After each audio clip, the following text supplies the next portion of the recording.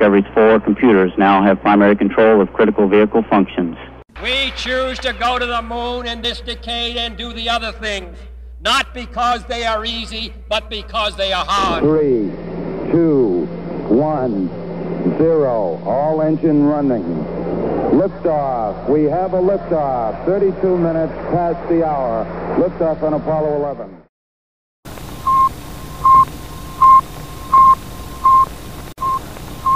T minus 10, 9, 8, 7, 6, 5. All three engines up and burning.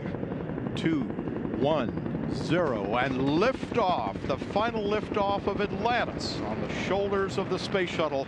America will Discovery Houston, 20 seconds to LOS TDRS. Roger, nice to be in orbit. 3, 2, 1.